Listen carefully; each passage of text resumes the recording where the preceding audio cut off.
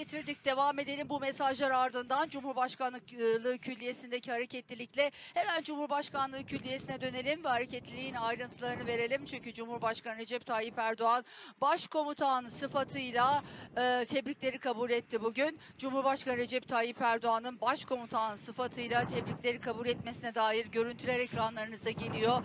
O görüntüleri ekranlarınıza getiriyoruz. Cumhurbaşkanı Recep Tayyip Erdoğan koronavirüs önlemleri çerçevesinde bugün e, burada bugün burada konukları devlet erkanını kabul etti diyelim. E, Cumhurbaşkanı Recep Tayyip Erdoğan'ın kabul ettiğini söyleyelim. Gerçekten zorlu şartlar altında yayın yapıyoruz. Bizde burada sıcak bir hava var. Ah.